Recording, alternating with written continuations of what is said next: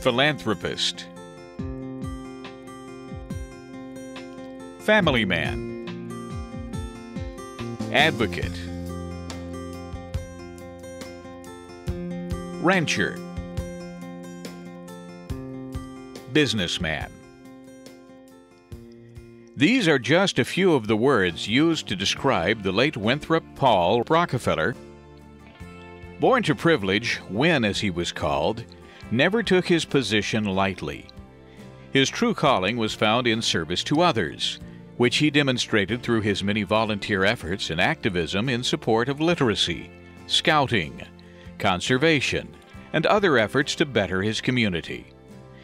In honor of his extraordinary accomplishments and commitment to the people of Arkansas, the Winthrop P. Rockefeller Cancer Institute was renamed in his honor in 2007.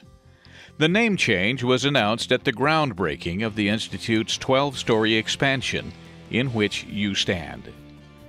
In 2005, Win was diagnosed with myeloproliferative disease, a rare blood disorder that can develop into leukemia.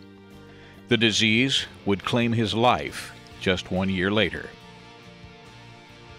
Thanks to support from the Winthrop Rockefeller Foundation, the Institute's ability to treat patients experiencing myeloproliferative disease and leukemia is growing with the goal that no Arkansan should have to leave the state to receive the highest quality cancer care. Win was the only son of former Arkansas Governor Winthrop Rockefeller and actress Barbara Sears. Win attended Oxford University and graduated from Texas Christian University in Fort Worth, Texas, with a degree in ranch management. He used his education to serve as chief executive of Winrock Farms, a cattle ranch founded by his father, located on Petit Jean Mountain near Morrilton, Arkansas. He was also widely known for his involvement in the Boy Scouts of America, serving as president of the Quapaw Area Council and as a member of the National Board of Directors. In 1996, Win was elected Lieutenant Governor of Arkansas. He was re elected in both 1998 and 2002.